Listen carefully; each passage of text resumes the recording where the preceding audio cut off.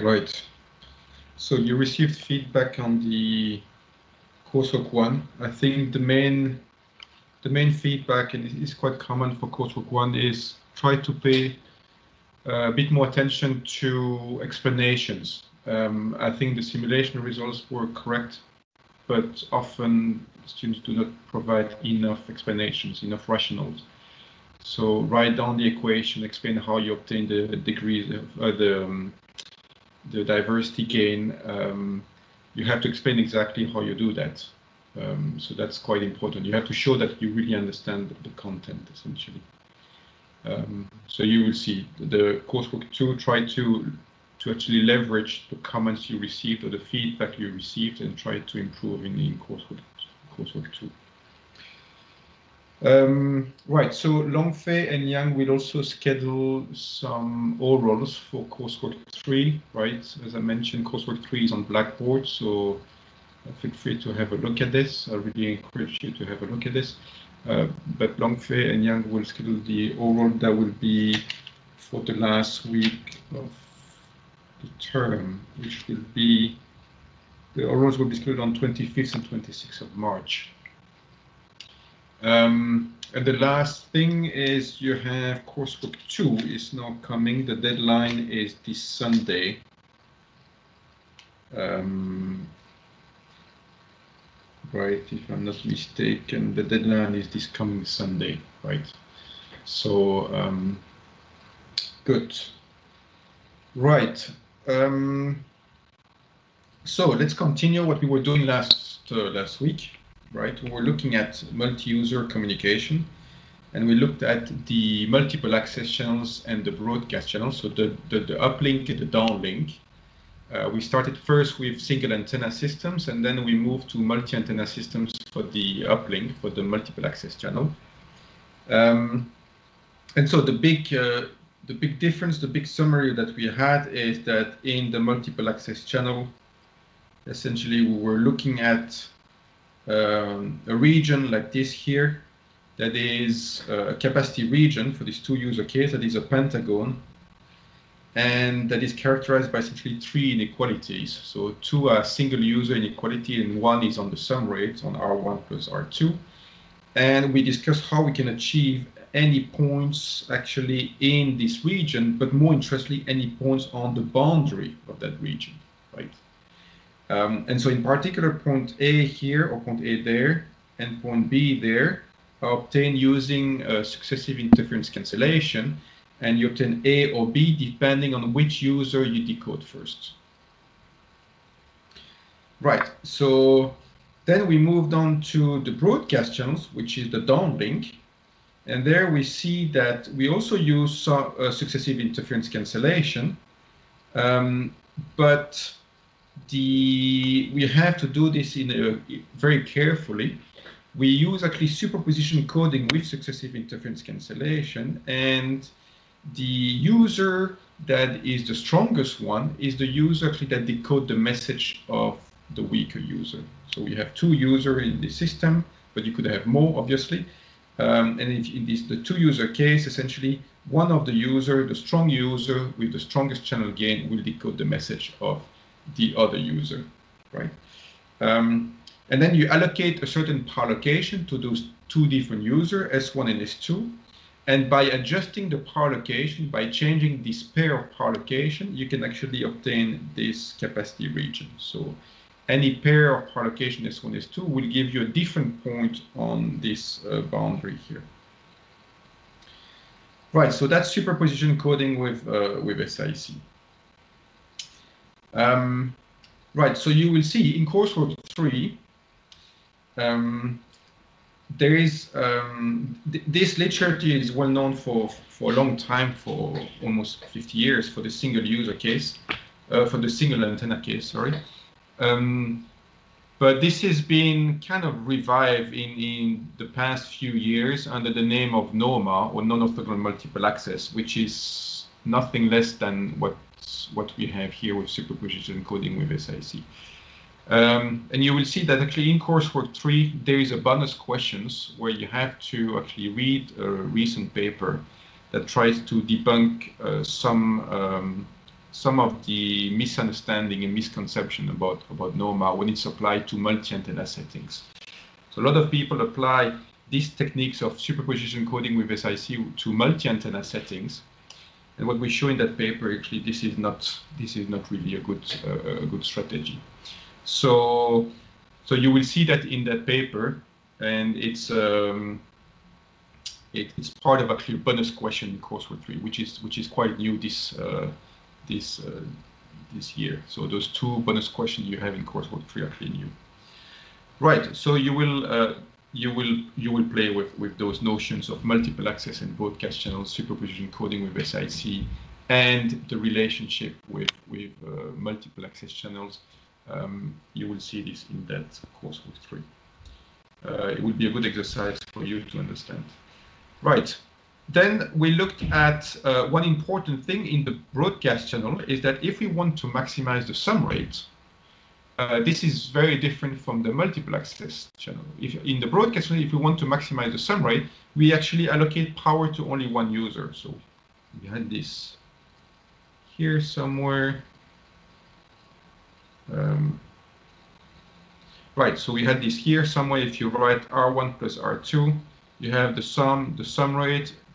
Um, this is the sum rate here, and actually to maximize this term, S1 has to be equal to ES. And so what you end up with is just the, the, the sum rate of this uh, of this broadcast channel, which will be equal to uh, simply log 2 1 plus uh, uh ES multiplied by H1. So this is actually the, the rate of user 1. Right, so in other words, um, again, to maximize the sum rate, to achieve the sum rate, we just transmit to one user at a time, always a strong user. That's quite different from the multiple access channel. Here in the multiple access channel, we actually, to achieve the sum rate, which is any point here on this region here, on this uh, face here, would actually be achieved by always having the multiple users uh, scheduled together, right? So to achieve that point here, the two users have to transmit at, at the full transmit power. So they will be scaled together, um, which is different in the broadcast, in the single antenna broadcast channel, so the SISO case. Right, so let's move on to um, the multi-antenna case. So we had the MIMO MAC, so the multiple antenna case in the uplink. Um, and so here we could have multiple antennas at the transmitters, we could have multiple antennas at the receiver. And one scenario that we looked at in particular is the SIMO MAC. So I have single antennas at the users, but I have multi-antenna at the receiver. Uh, and it's an uplink, right? So the so what we saw here, we looked at the capacity region of this case, and in the two user again we had two constraints R1 and R2. Uh, so single user rate, so the rate of user one and user two had to be smaller than the rate in there if they are alone in the system. And then I have the rate of user one plus user two, so the sum rate has to be smaller than what we have here. And so this actually, uh, what what this was telling us, and what I, I showed you uh, in, in, in the in the last uh, term is actually in the last lecture, is that actually this is very reminiscent of what we have in point-to-point MIMO. Essentially, this is the same as looking at a point-to-point -point system where we have, let's say, two streams that we transmit. We do spatial multiplexing, two independent streams. Stream one from antenna one, stream two from antenna two. And the sum rate of this point-to-point MIMO is actually correspond here to the, the sum rate of these um, of these two users SIMO multiple access channel. So it's it's um, it's uh, the same techniques actually applied in those two, two scenarios. So what we what we showed here is that in this uh, SIMO case, SIMO MAC, what you do is that to achieve the corner points, you have again um, a pentagon like this. You achieve two corner points here. So same idea as what we have in SISO case. To achieve the corner points here, essentially the, one of the user, the user one will decode the message of user two. And here, user 2 will decode the message of user 1. And so here, at this point here, we have a rate R1, R2 prime. And so R1 will be this. That's the rate of user 1. That's the, the rate it would achieve if it's alone in the system. That's the sum rate I have. So the sum rate minus the rate of user 1 give me the rate R2 prime at this point A here. And this is actually, you see the argument here of this log is actually the same expression as an SINR, um, SINR when we do MMSE receiver. So this is actually the, um, this is actually obtained, this solution is actually obtained by doing, uh, you apply a MMSE receiver, you actually um, decode uh, R2 and then or, user two streams, and then you remove it from the received signal and you perform SIC and you decode user one rate. So the pair R1, R2 prime is obtained by doing MMSE SIC, which is what we can use in point-to-point -point channels as well. When we have a MIMO case, you can use MMSE SIC. I have not gone into the details, but you can show that MMSE SIC for any realization is actually capacity achieving right? So that's the best thing you can do. Um, if you look at error probability, is not the best thing uh, for finite rate, uh, for finite constellation. Um, so you see that the ML decoder would perform better, but from a rate perspective, when you have infinite block lengths, you have Gaussian uh, signaling and so on, MMSE SIC is actually capacity achieving. And this is the reason why actually here in, in the, the SIMO-MAC, is also uh, MMSE SIC is actually sufficient. Right. Now, if you have a BC, um, so if you have um, if you have a, a, BC, you have now multiple transmit antennas and multiple receive antennas, right? In the downlink. So now you may have a transmitter that may equip with multiple antennas, and then you may have a receiver that may also be equipped with multiple receive antennas, right? It's now it's a downlink, right? So here the idea is a bit more complicated um, than what we have in, in, in the single antenna case. In the single antenna case, we were doing superposition coding with, with SIC. Here in this case, our system model now looks like something like this. I have a receive observation Y1 here, Y2 there, right? I have a channel matrix H1 for user 1, H2 for user 2, and I have now a, a vector of transmitted signals here, C prime, that incorporate all the messages I want to deliver to user 1 and user 2. User 1 and user 2 could receive multiple stream of information because they have multiple receive antennas. Right. Now, we will not go into the, all the details of this, um, but the important message is that the capacity region, when you know the channels of the transmitters, this is known, and so this can be characterized, and is obtained by something that is called dirty paper coding. So that's the best strategy that we can um, we can come up with, and the idea is, is different from superposition coding with SIC. Superposition coding with SIC, you can view this as a form of interference cancellation at the receiver side. You see one of the user, the strong user, cancel the interference from the other users. Dirty paper coding is a form of interference cancellation at the transmitter side, so at the, the, the base station. Right, so superposition coding with SIC, when you have um, signal antenna system, like this, you perform SIC here at the receiver, so you cancel the interference at the receiver. So if you like, receiver 1 will cancel the interference that the message of user 2 was uh, creating. Here, when we have multi-antenna, if you apply superposition coding with SIC, this is clearly suboptimal when you have multiple antennas. And so the way to go is something called dirty paper coding, where this idea of interference cancellation is actually performed at the transmitter side. So it's, the, it's formed in the way the uh, information is encoded. Now, why it has this funny name of dirty paper is because essentially the idea is is is writing on dirt. So dirt is in the interference, but if you know the interference at the transmitter side, uh, the interference actually any message will create, and this is something that you know when you know the channels perfectly, the transmitter. The idea is that you leverage the knowledge of the interference in the encoding mechanism, right? So we're not going into any of those details. That's well beyond the the content of this course. If you're interested, you can go into into the book. This is this is explained.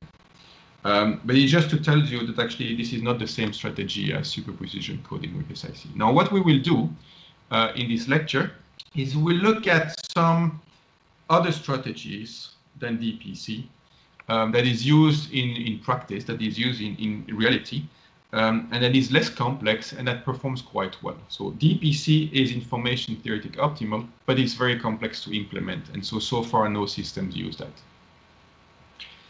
Um, so what we look at is actually how we can use some form of linear precoding, something that we know already. We have played a lot with linear precoding.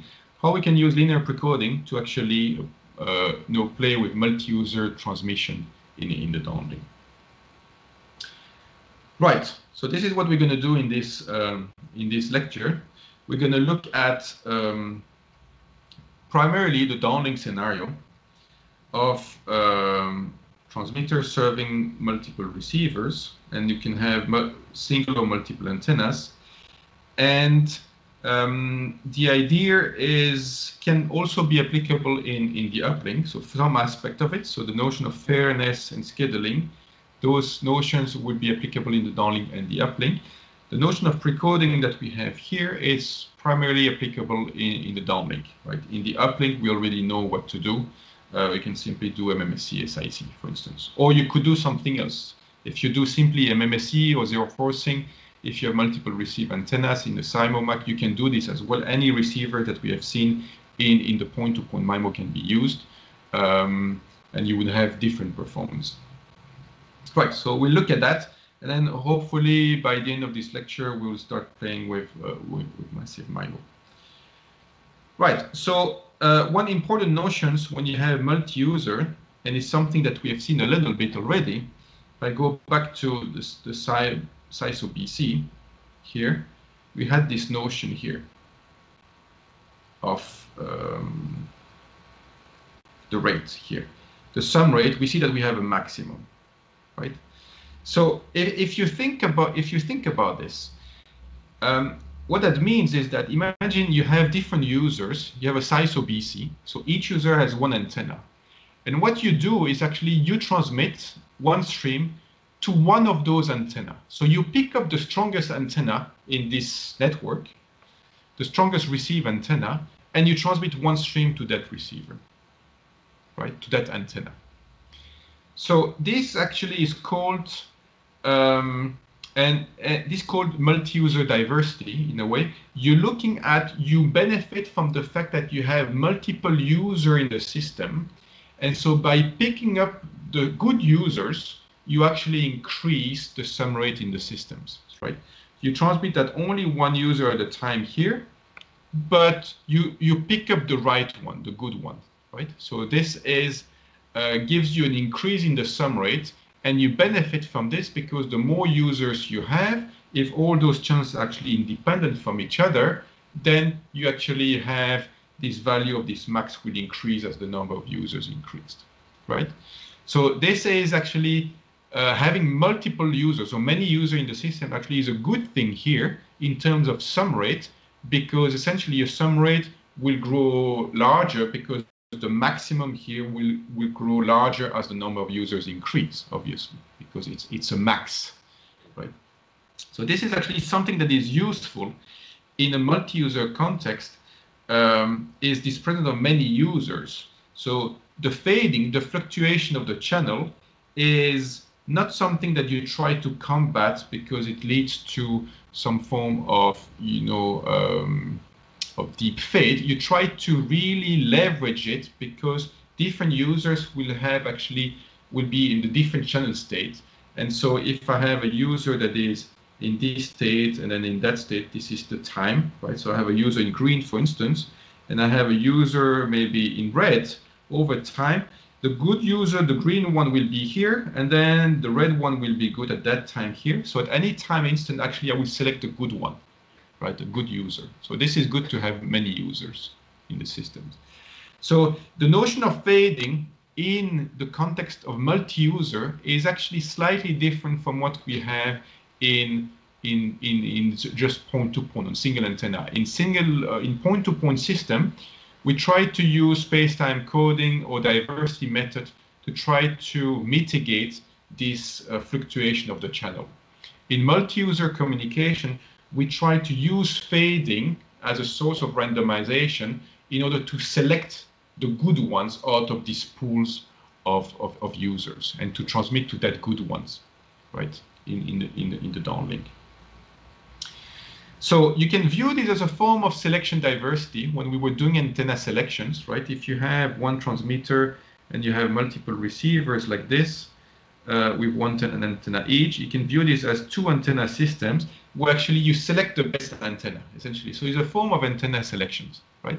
And we have seen that when we do antenna selection, essentially our uh, SNR increase with the number of antenna that we can choose from. So here our uh, SNR after selection, so our sum rate here will also increase with the number of users that we have. Now, what is important in order to be to choose the users is that we have to be able to track the user channel fluctuation, right? So if I know the channels at the transmitter, if I know the channel H1 here and I know H2, then I can really know which user is the best one at a given time instant. And so I can select the right user at the right time in order to maximize this uh, capacity, uh, this sum rate, right?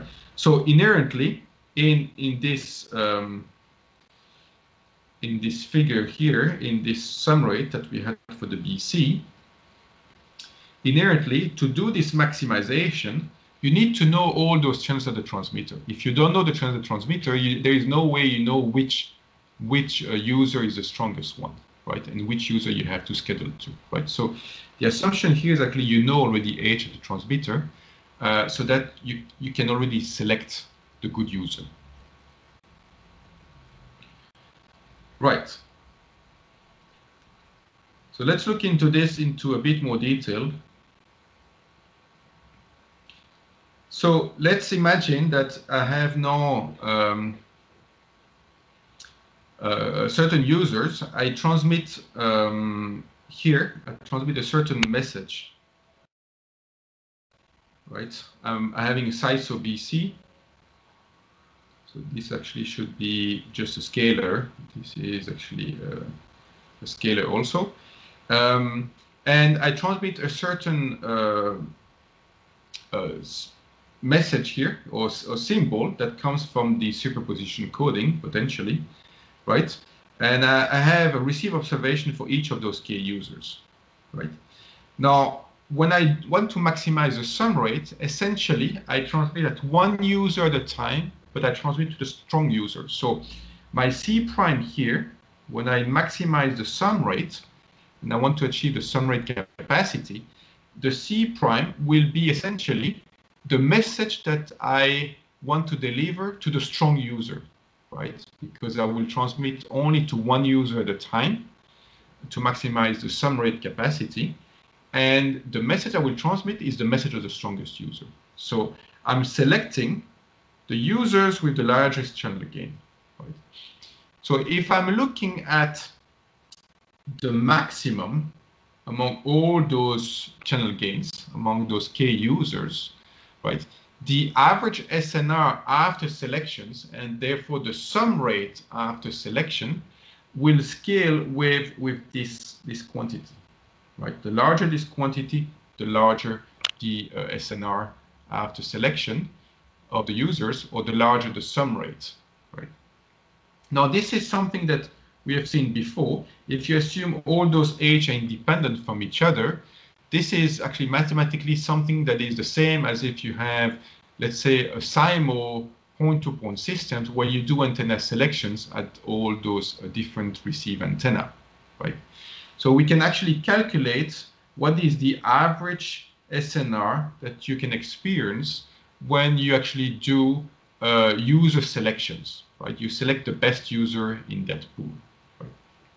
So here we assume that all users have the same channel statistic, they have the same path loss, and the same um, shadowing for the time being, right? So and so we can maximize, we can compute this quantity just using the relationship that we have seen many lectures ago in antenna selections. And what we saw at that time, we saw that actually this quantity, um, if k is large, if the number of users is large, or in the number of antenna, the number of receive antenna is large, we saw that this quantity was scaling as log the number of receive antennas. Maybe you remember that, right? So we had something that it was scaling as the number logarithmically with the number of receive antennas. Here, the number of received antenna is simply replaced by the number of users, right? Each antenna is one user effectively. So I have essentially, after selection, I will have the SNR after selection of the users, of the strong user, this SNR will scale as log k. So if I increase the number of users in the system, the SNR after selection will increase logarithmically with, with k, which is good, which is good. It means actually the more users I have in the system, the higher you know the SNR after selection, and then the higher the sum rate. Not so surprising, right, that is increased, because here in this example, what do we have? Imagine we have only two users. What is the SNR after selection? Well, during that period of time here, um, I mean, this whole period of time here, we, we see that uh, the, the green one, this whole green one here is better. So that's going to be the SNR after selection will be a function of H1. And then uh, at this time instant here, the SNR after selection, right, will be uh, H2, right? So the larger the number of users, the larger the value of blue. You see the value of blue will actually, the, the, blue color will actually, the value will, will, keep increasing as you have more users in the system, obviously, right? You never will uh, schedule the user that is in the deep fade like this because likely you have another user that has a better channel, right? Right. So this is where this log k comes from. So that means actually the SNR, this term here, if I go back to my SISO BC, right? I could say roughly that this term here, if all my all my long-term SNRs are the same for all the users, so if all the users have the same path loss, right, it's a big assumption, but assume all the users have the same path loss, this quantity roughly will scale as log, log k, roughly, right? SNR uh, multiplied by log k right? So that means actually the sum rate will roughly, in the highest SNR regime, will roughly scale to log log k. So I have the log coming here and I have the second log coming there. So it will scale uh, doubly logarithmically with k, right? Um, so if k increase, the sum rate will increase. It will not increase linearly, right? So it will not be a nice linear increase. It will be a logarithmic increase, doubly logarithmically increase. So it will it will saturate at some point. So you will have a lot of benefit of bringing more users uh, when you have a small number of users, but if you have a large number of users already, then whether you go from 100 to 150, the gain will not be as significant as if you go from two users to three users, for instance, right? That's what it means. Right, so um, let's go back to this here right? So this is this notion of essentially uh, multi-user diversity gain.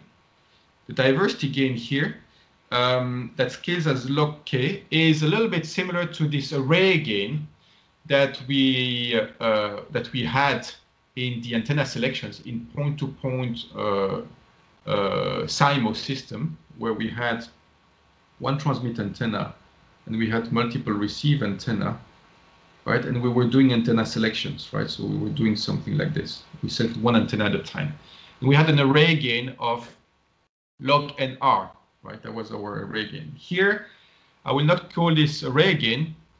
Uh, we call this uh, multi-user diversity gain because those different antennas correspond to different users. So effectively, you could see a form of array gain, but it's not actually increasing the SNR of each user. It's actually increasing the SNR of the selections after uh, after picking up the strong users, right? So it is a multi-user diversity gain. Right, and so for this, um, you see, obviously, you can have situations where this hold here, this log K, only holds if all the channel gains, all the passes and shadowing are the same for all the users. Now you could have situation where you don't have that, right? And in reality, you would not have that, right? If you have something like this, if you have one transmitter and you have a receiver is here and you have another receiver is there, right? So the path loss of user one and the path loss of user two are very different from each other. Now, instead of having something uh, that is um, something like this, and then something like this, well, you may have something that is constantly like this, and something like this, right? So that's my user two. Green one is user one, right? And because the path loss of user one is much smaller than the path loss of user two, essentially here I have over time, I have that actually the channel strength of user one um, is actually much uh, much higher than the channel strength of user two, right? So in that case, in that case, this log 2k here that we have here will not hold anymore because the path loss are different for those two users. So in that case here, you would scale always user one. So there, uh, we'll see later on, this is not very fair, right? You can still benefit from form of multi-user diversity, well, in the sense that these channels may still fluctuate, so you still actually uh, schedule the strong users, but actually you will always schedule the same user because one user is very dominant compared to the other one, right? So if you have really the same path loss for the two users and you have independent fading among the two users, this is where the multi-user diversity is very helpful. Um, if you have only one user is very, very dominant compared to the other one, and you schedule that user all the time because he's the dominant one, um, I mean, yes, he's a strong user, so the sum rate will be okay, but uh, you will never schedule the other user. So that will lead to a problem of fairness. So multi-user diversity is okay, is good, but you have to be uh, a bit careful about under what assumption you can achieve multi-user diversity. Um, if you have the, relatively the same path loss for the, all the different users, you can really leverage the multi-user diversity by selecting the strong users.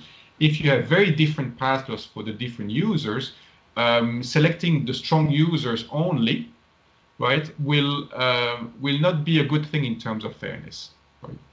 Here, if you have the same path loss for the different users, it's okay because at some point in time you select user one, then some point in time you select user two, so you can alternate between user one and user two, and you can still, you know, benefit the systems because you only scheduled the strong user at a given time instant. So we'll look at fairness just in a minute. Right. So um, so this here essentially tells you uh, roughly what I was telling you a, a minute ago, is that if you look at this sum rate, which is obtained by uh, opportunistic TDMA, you transmit at one user at a time, roughly your sum rate will actually scales as log 2 of the multiplex of the multi-user diversity gain. So the multi-user diversity gain GM here is given by log k. And so what we're going to have here is something of constant, but essentially plus uh, log log k, right? So if you have um, larger number of users here, essentially your sum rate will actually increase with the number of users. Good. Um, right. So let's now look at this notion of fairness. So the problem of picking up these strong users here all the time when you have different path loss is not fair, as I said, right? So we need to find another way if that happens. And the other way is, um, the idea is the following.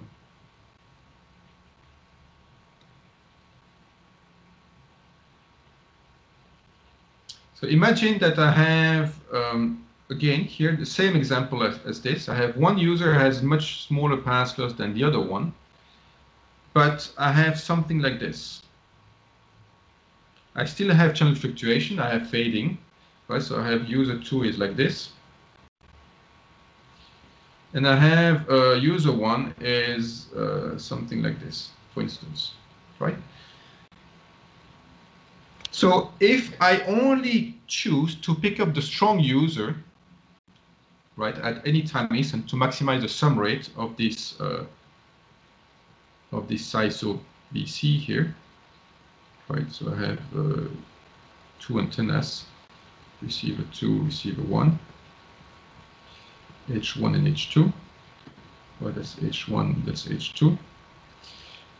If I only select one user at a time, I will select user one all the time. Not fair, right? User two will never be scheduled. So what can I, what can I do in order to try to um, be more fair? So one idea is the following one. One idea will be to try to schedule the user whenever his channel is good, right? So here I have two users, and I see that actually, if I look at the average channel strength of user 2, I see that user 2 is actually good here, is good there, is good there, has a good channels compared to its mean, right? If I look at user 1, user 1 has good channels here and here, right? So the idea there, we try to increase, to bring in fairness into the problem is say, let's not schedule the strong user at a time at at, at a given time instant. Let's try to schedule the the users who have a good channels compared to the average, right? So that means actually here, maybe at this time instance here, I will schedule user two, and then we'll switch to user one here, right? Because user one has a good chance compared to its mean. And then at some point here, we'll go back here maybe to user two, right? And then we'll go back here to user one. You see, because user one and user two will have independent fading because they're located different location in a cell, for instance, or in, in, in the network, they will have independent fading. They will be far away from each other. So the fading will be uncorrelated. And the idea is say, let's try to you schedule the user when they're really the chance is close to their peak. So the chance will change over time, and let's schedule them when they're close to their peak. Right? That's the that's the qualitative idea behind trying to bring in fairness into the system. Right. So how can we formulate this? Well, the way we can formulate this is by bringing a utility metric. So the utility metric says I have a certain number of users in my pool. The K is the number of users in in the system. I have k of them. And if I want to schedule one user at a time here, the question is which user do I want to schedule? And so what I could do is introduce a utility metrics U and say the user I will schedule at a certain time instant is the one that maximizes this utility metric. Right? Now we can choose multiple metrics for this. So one of them is simply rate maximization. The other one is more fairness-oriented policy. So a common metric for you is simply WK multiplied by RK. So RK is the rate of user K. Let's say a certain time instance, that's the rate of user K. The rate that is achievable by user K. WK is a weight that we add, right? And what we want to do is find the user among all the users, among all these pools of users here. I want to find one user that maximizes this product between the weight W and the rate RK. So imagine if I take the weight WK equal to 1, right? In that case, it's simply R max or RK. Right? So that, that means, in other words, is simply finding the user that maximize instantaneous rates. Or in other words, finding the user that will maximize its SNR. So I transmit one user at a time, or and I just want to find the user that has the largest instantaneous rate, right? Or uh, in other words, I just want to find a user that has the largest instantaneous SNR, right? So this is actually a rate maximization approach. This is exactly the same as just simply doing that. When the SISO BC here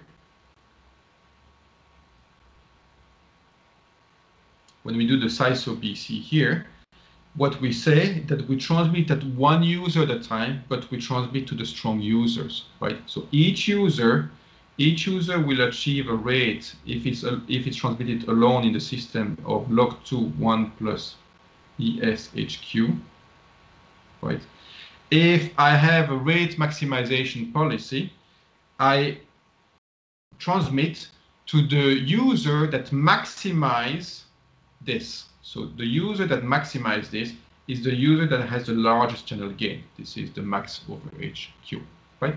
So the rate maximization uh, policy here is actually the rate, the, the strategy that simply achieves the sum rate capacity of this SISO BC. But as, as we have seen, this is not fair because in this example here, the rate maximization policy will schedule user one all the time because user one has the largest channel gain.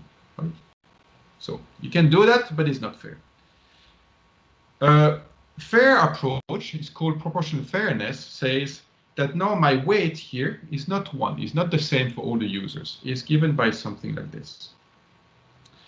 So um, gamma Q is a weight that is function of, let's say, a certain quality of service. Let's imagine user, one of the user requires a higher quality of service than other users, um, then the gamma Q will be larger. For instance, if for one of the users you have an important call, um, while on other users you do streaming. So for instance, in one of the users, you have a call that needs low latency and you know reliable uh, transmission, regular transmission, while other users, they just do streaming.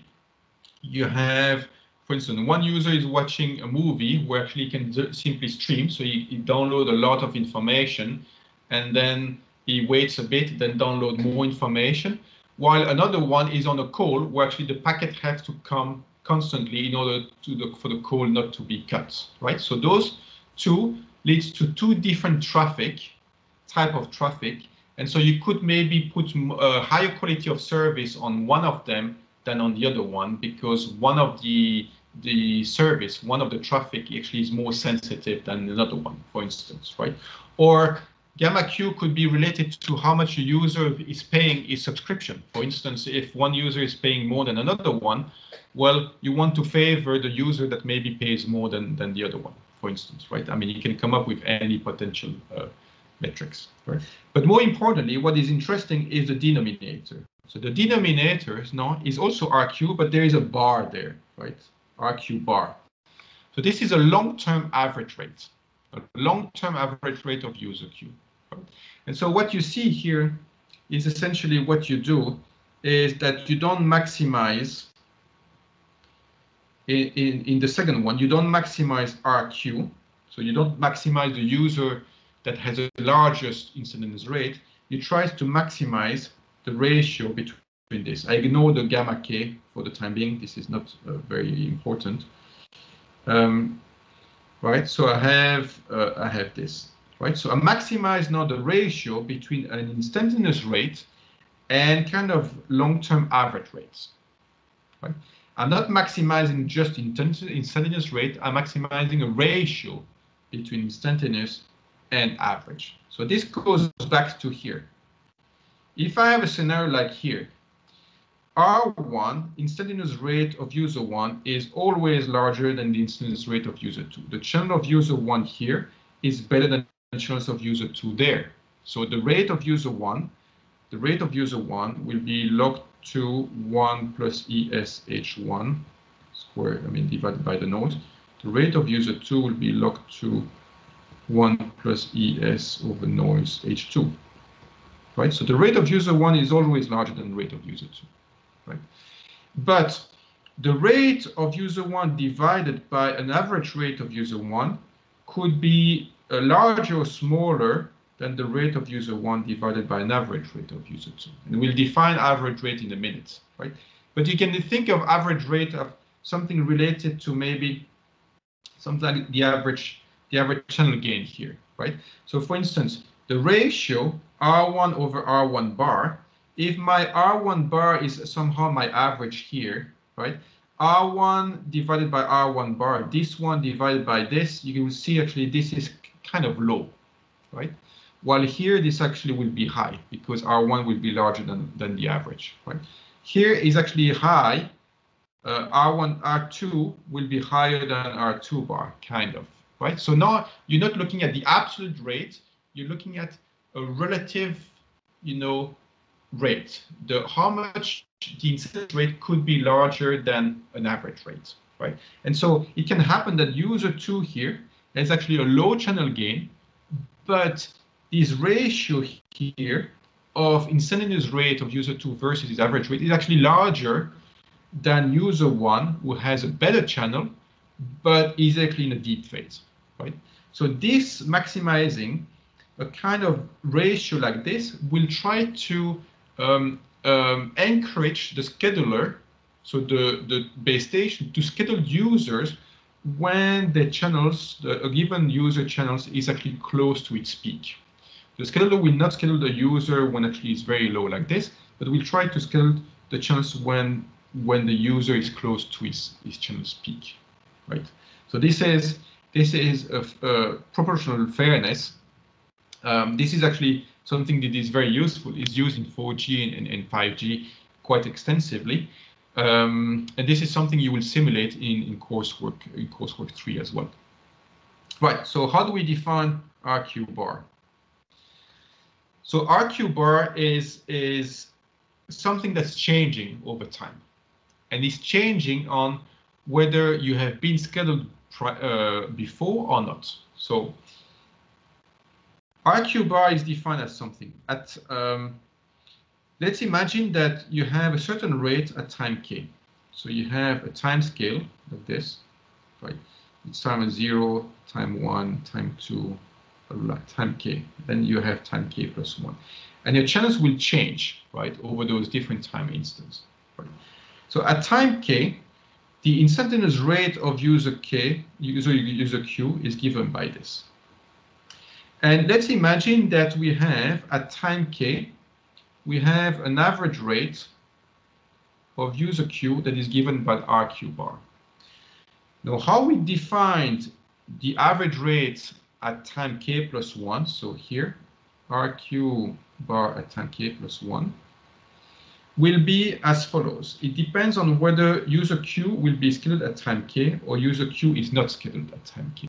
So what that means scheduled at time k means you have a certain number of users in, in, in the in the cell, right? You have large k, right? K users, right? And at time k here, you are asked to, to schedule one of those K users, right? So you will transmit data to one of those K users, right? So if you decide to transmit data to user Q, that means user Q has been scheduled at time K.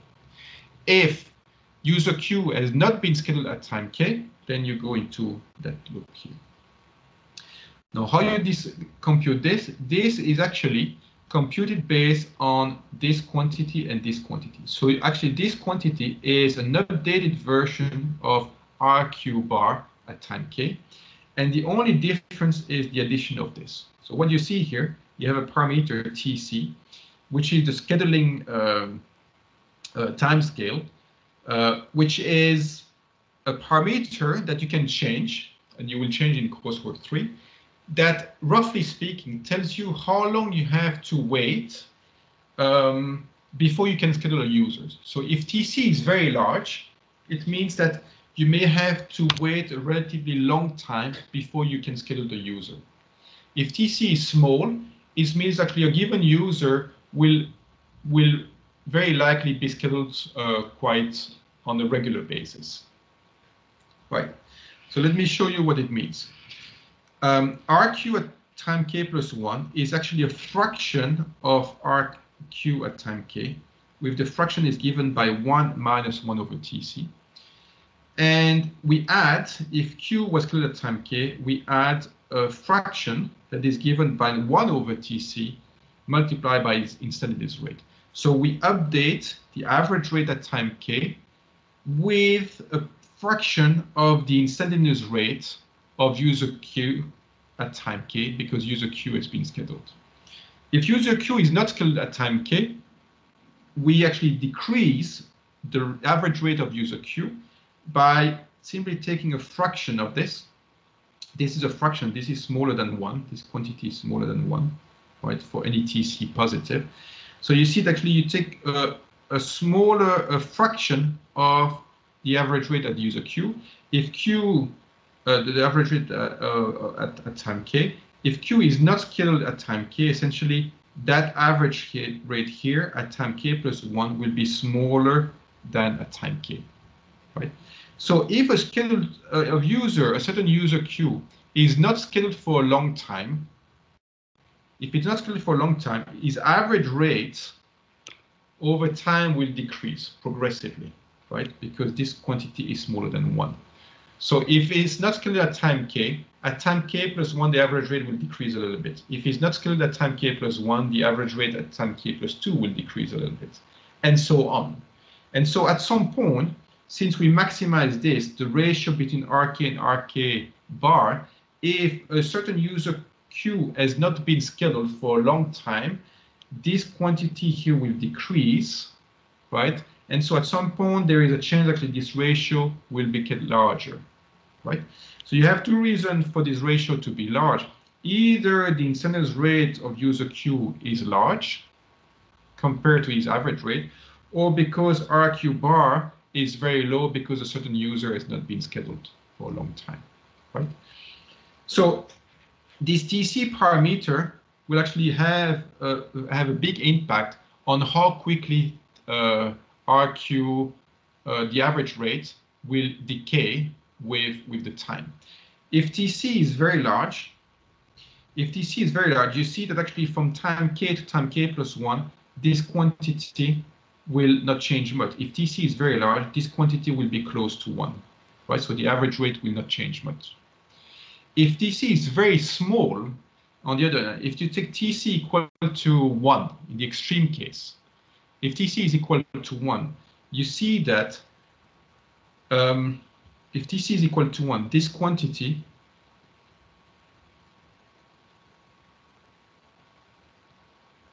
if TC is equal to 1, we have RQ bar k plus 1 will be equal to RQK of 0.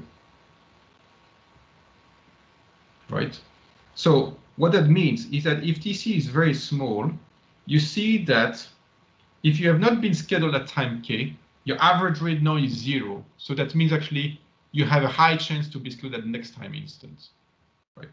So if TC is very small, you will be you will have a tendency to have something like this.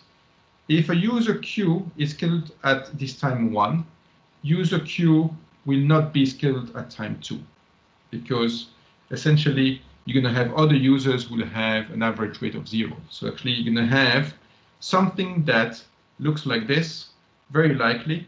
You may have some form of what is called round robin. You don't really care about how strong the instantaneous rate of a given user is, you will be dictated by the fact that if you have not been scheduled at a certain time instant, your average rate at the next time instant will be equal to zero. So that means your ratio here will become suddenly very large. And so you have a high chance of being scheduled, even if your channel is not very good, right? So what this gives you is a strategy that is called round robin.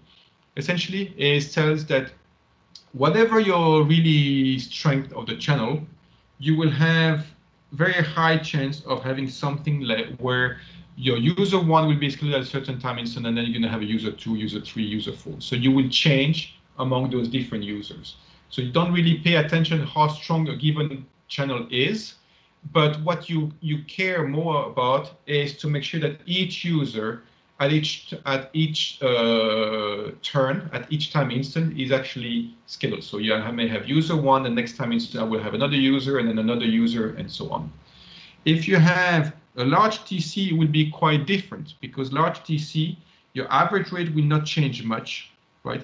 So what may may happen is that you will have some things where um, maybe for um, a longer period of time, you may have um, Uh, so here I have time one, two, three, four, and maybe I will have user one and user two, user three, user four scheduled. Here I have one, two, three, four, and maybe I will have user one scheduled, user one scheduled, user one scheduled, user one scheduled still, right? Uh, but then after a certain time instance, then it will move to another users. So the difference between those two, the TC is is very large, but TC is is very small. Is that how long you have to wait for actually a given user to be scheduled. It does not mean that this uh, this one is better than this. Actually, this one is likely to be worse than this one. The reason for this is because here you don't really care about how good a given channel is.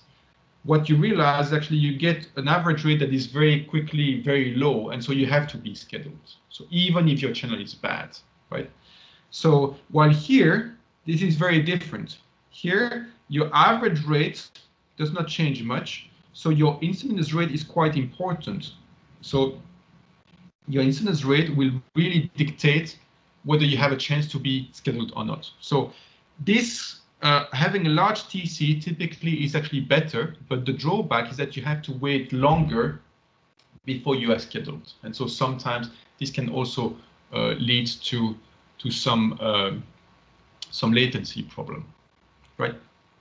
So if you do some, some evaluation, and this is something you're going to have to do in coursework three, and you have uh, SISO broadcast channels where you do uh, one user transmission at a time, but you scheduled the user that maximize this ratio here. So you do this, so you do proportional fair scheduling. So it's a fair uh, scheduler but proportional fair, that is proportional means here that you're looking at this ratio between those two. So if you do um, a proportional fair scheduler where you actually you choose your user Q prime to already maximize at every time instant the ratio between the incidence rate and the average rate, what you will note over a channel that is varying like this, where at time k the channel is actually kind of uh, uh, first order, you know, innovation uh, process, where you have at, the challenge at time k is equal to challenge at time k minus 1 plus some innovation noise, some Gaussian noise. Right, so your challenge is changing here as a function of epsilon. The larger epsilon, uh, the, the smaller the change, the smaller the epsilon, the larger the change, right? So if you do this proportion fair scheduler and you select the user that maximize this ratio between incidence rate and average rate, what you will see is that the sum rate right? So the rate of actually the scheduled users every time is actually increasing with the number of users, but the rate of increase depends on the value of TC. So here I have an example where all the users have the same path loss. They all have the same path loss, lambda q is equal to lambda, right? The only thing that's changing is the channel gain, the HK. So H, HQ is uh, independent across the different users, and each channel, right, at a certain time k, evolves like this, right? And what you're looking at is the effect of the sum rate as a function of this scheduling time scale. So what you have here is that the larger TC the larger the sum rate, the lower TC, the lower the sum rate. And the reason for this is that here we are not able to really benefit from any multi-user diversity because we always, if you have not been scheduled at a certain time k, you will be scheduled at the next time instance, very likely, irrespectively of how good your channel is. While here, you will really be scheduled whenever your channel is much better than the average. So you will really try to actually be scheduled whenever your channel is good compared to your average, right? So that means actually you will schedule, you will actually leverage some form of multi-user diversity here. You will be scheduled whenever you are close to your peak, right? And so this will lead to some um, multi-user diversity gains, to some increase of the sum rate here with the number of users. If you have TC that is in between, well, you will have a gain that is a bit smaller. Now, this also change as a function of epsilon. You see epsilon here is essentially, if you like, a correlation coefficient between two time instants, right? So if epsilon is very small, if epsilon is equal to zero, it means actually there is zero correlation between time instant k minus one and time instant, instant k. So if epsilon is equal to zero, essentially channel at k minus one and k are completely independent from each other. So it's like epsilon equal to zero is very fast changing channel. Epsilon equal to one, if epsilon is equal to one, this term is equal to zero. So this is actually a constant channel. But the channel is not time varying at all, right?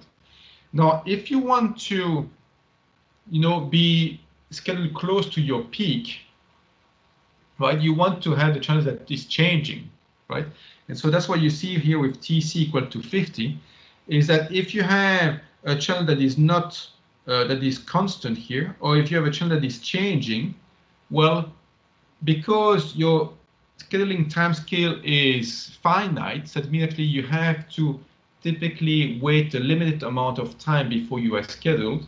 If you have a channel that actually is changing more rapidly, it means that you may have a better chance to actually be scheduled on the peak of that channel, right? If I have something like this, if I have um, time instance, and if I have a channel that is varying very slowly, or if I have a channel that is varying very, very, very quickly, right? Uh, if I have a given time scale, my TC is this, right?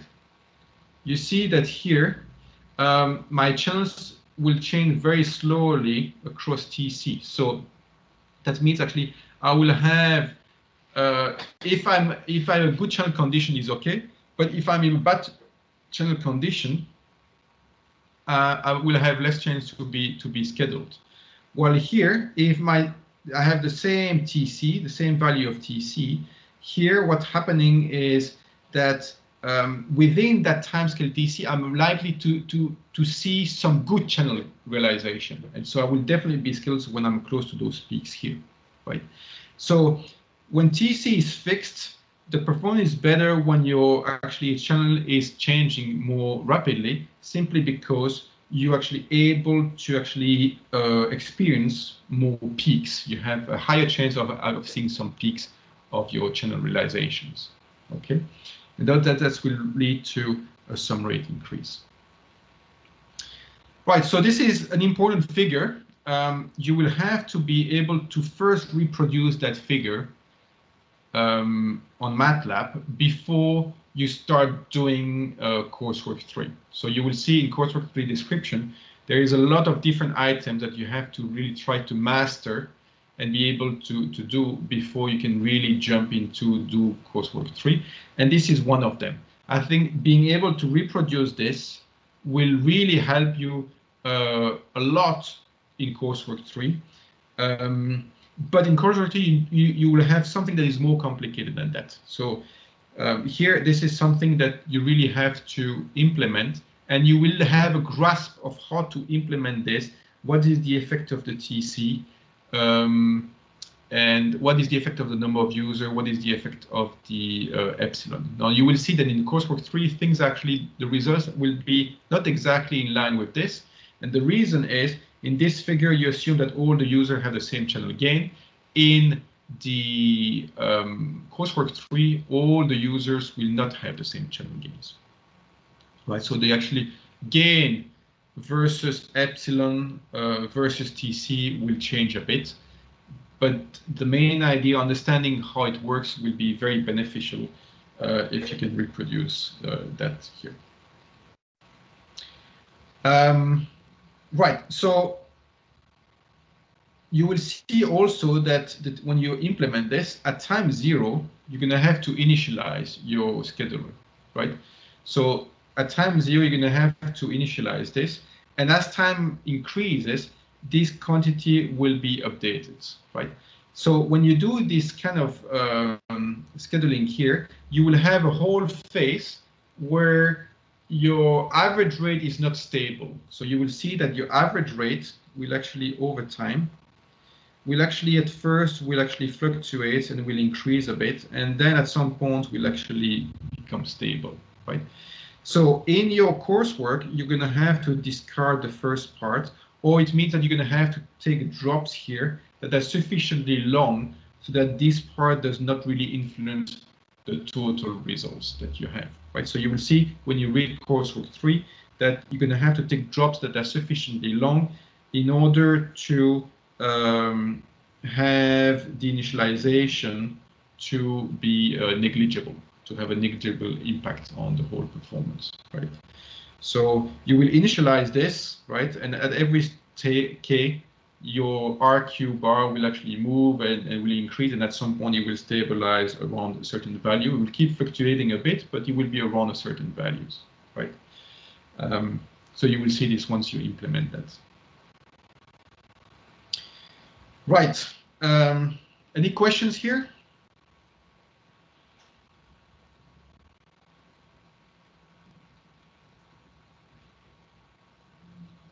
Any questions so far?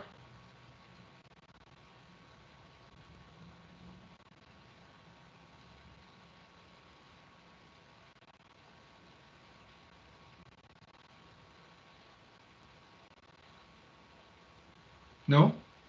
Okay. So um, so let's have a break here. Ah, sorry, someone had a question. Yes, uh, Ginger. Please tell me. Uh, Bruno, I have a question about the the average. How it's uh how, how to like calculate the average in in a time scale. I mean the the length of the time scale to calculate the average because it's a long term average and how you calculate this average.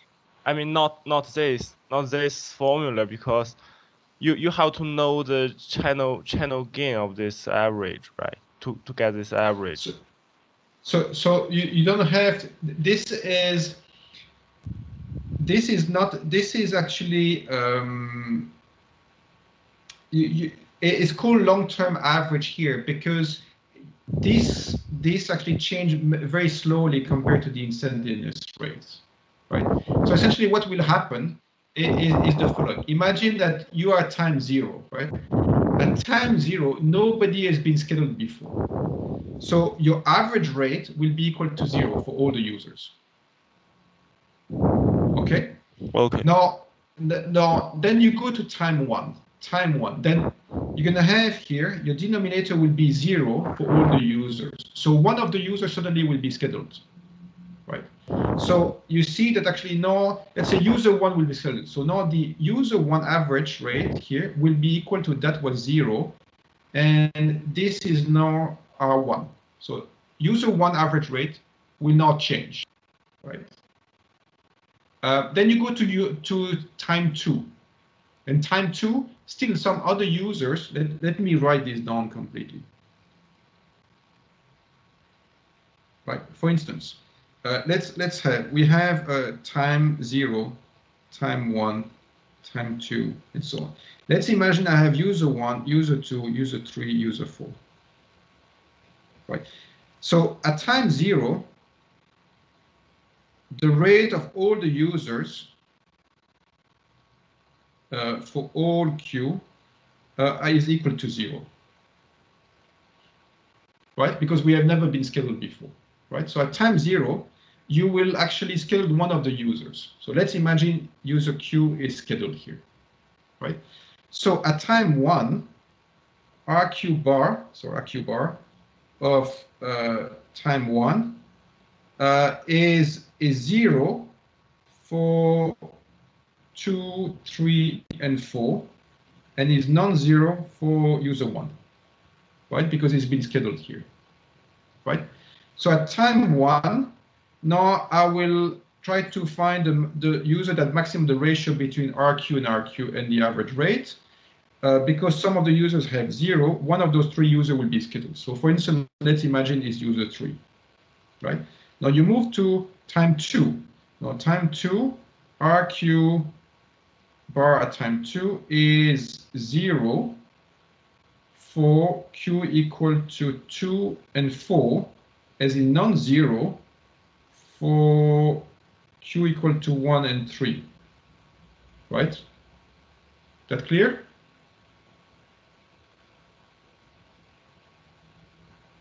Ginger? So if there are zeros, that means that it's very likely that it's going to be scheduled, right? So oh. one of those will be scheduled, so probably user two and so on. At some point here, you see after four time instance, things will start being different because you see all those average rate now will be non-zero, right? So now you, you continue, the average will be, be non-zero, and for each time instant, you will actually update your average rate using that, right? So that's why you're gonna have the average rate of user one will start from zero, right? And then will increase a bit, and then will increase more, and at some point will stabilize, right? So you see some large fluctuation, and then it will stabilize. Oh, right? okay, thank you. Right. So so that's why K is actually a time instant. You're gonna have to take long drops. So in your in your coursework three, you're gonna have to generate the chance using something like this, right? So the value of K will be your time instant. You're gonna have to take the value of K here very long. For instance, 10,000, right? So 10,000 instant, for instance. And the longer the TC, the longer the drop going to have to be because the longer the TC, the longer the TC, the longer it will take time for a given user to be scheduled. But you could take a longer time to be scheduled. That's what it says. Right. If you have a smaller TC, you could take a drop that's actually smaller in length, shorter in length. Okay. So, for instance, uh, generate this with, I don't know, I don't remember what I did here, what was the length, um, but let's say uh, 10,000 or 100,000 instances, right? Um, and so you go, what you're going to have to see is when you look at your average rate of a given user, you're going to have to see how it fluctuates like this and when it becomes stable. And this is maybe the stabilization comes after, I don't know, 500 time instance, right? For instance. Okay, so what will become in, important is really the rate that you achieve from time, uh, time instance five, 500 to maybe 10,000, right? But if you increase your TC, if you take large TC, you're going to have to take longer drops, right? So in your coursework, you will generate multiple users, different location, and each user will you will generate a time varying channel uh, using something like this with that is has to be relatively long. 10,000 symbol duration or 10,000 channel use, something like this, or 100,000. You're gonna have to see. Okay, does that answer your question? Yeah, yeah, thank you. Good, so let's have a break here and then I will go into pre-coding. So let's let's resume at uh, 10.20. In the meantime, if you have more questions, please ask.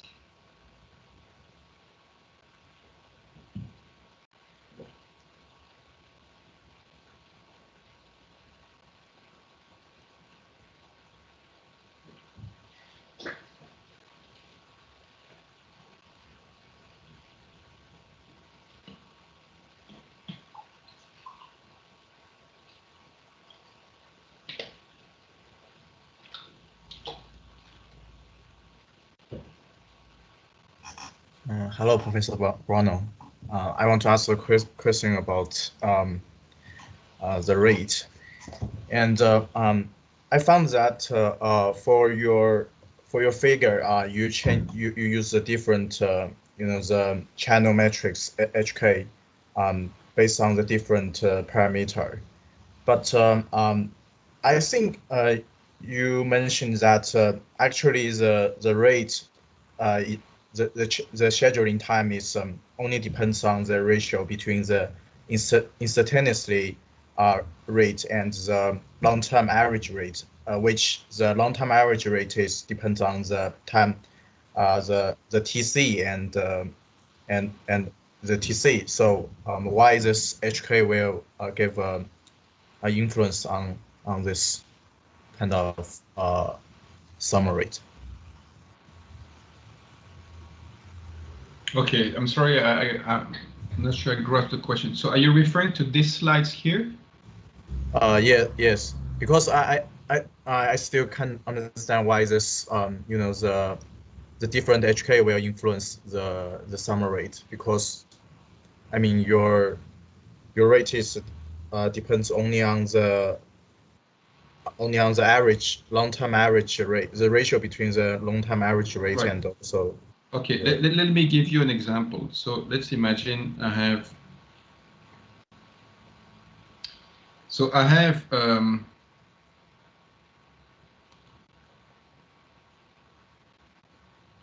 let me take uh, an example. I have, let's say, two users.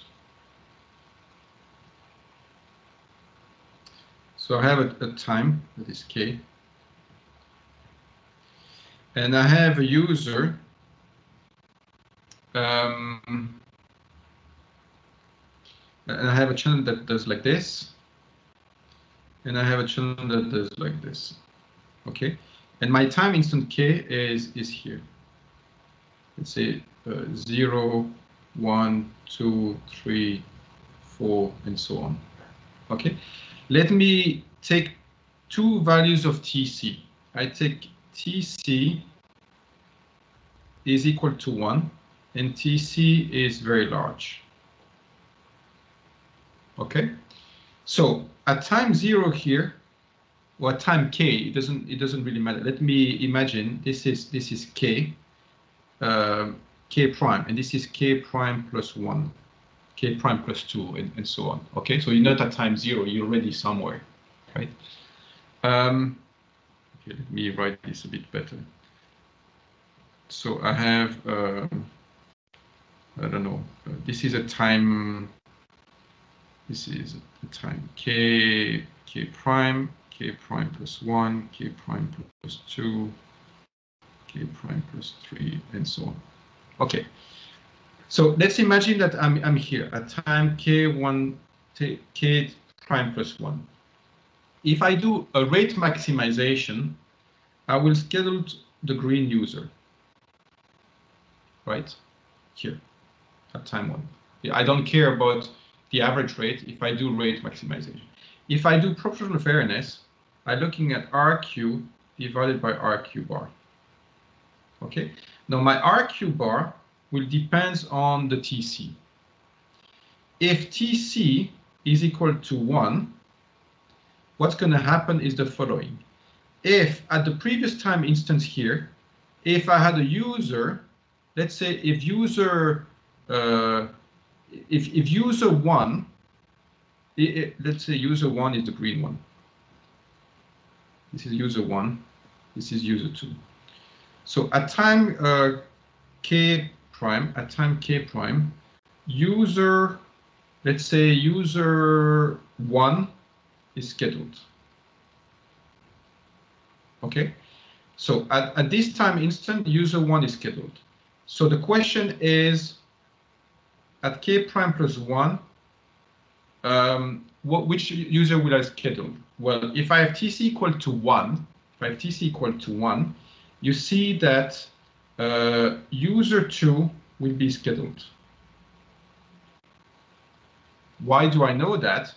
Because the R2 at time k plus one will be equal to zero from this expression. Right? If TC is equal to one, a user that has not been scheduled at the previous time instant will have an average rate equal to zero at the next time instant. Okay, so here, if if I have here at time k prime, I have user one is scheduled, then at time k plus one, the user two average rate will be equal to zero um, this is with TC equal to 1. The user 2 average would be equal to 0. That means actually R2 divided by R2 bar will be equal to infinity, will be much larger than anything I can have about R1 divided R1 bar will be strictly small infinity because this will be non-zero, right? So this gives you an example here where you see that user 2 at time k prime plus 1 user 2 will be scheduled, even though his channel is not very good. You see, actually, compared to his mean, his channel is not very good, but user 2 will be scheduled, right? Because he has not been scheduled at previous time instance. Yes, so so this kind of method it does not depend on the HK, uh, the, the that's, changing that's, of HK. That's absolutely right. If TC yeah. is very small, the, the the user you will choose will actually not be really a function of HK. And that's a problem. That's a problem because that means actually you could be scaled when you have a bad channel, right? If TC is small. And this is the reason why in this curve here, you see if the TC is small, you have actually, even if you have a large number of users and you have the chance of picking up good users, you will not be able to do that. And that's why your sum rate is actually flat.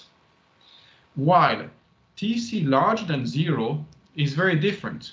If TC is larger than zero, it means that at time k plus one, let's say user one is scheduled, right?